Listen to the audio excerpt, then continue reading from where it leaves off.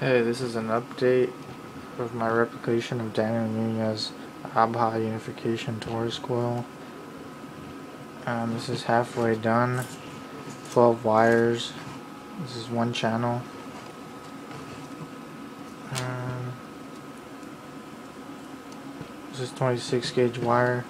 The other channel is going to go in these empty gaps. 12 of them. 12 are already filled. There's 24. It's 12 and 12. I'm going to do the other one.